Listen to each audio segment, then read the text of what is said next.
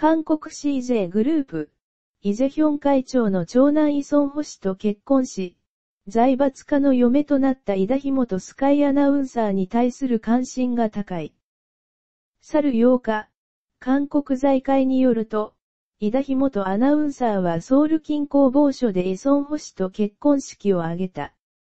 非公開で行われた式には異会長夫妻、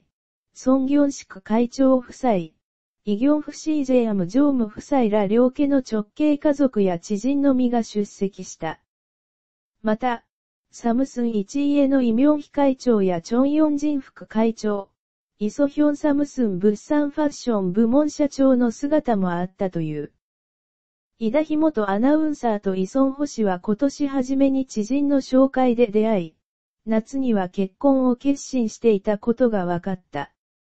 井田ひとアナウンサーは知性と美貌を兼ね備えた才女だ。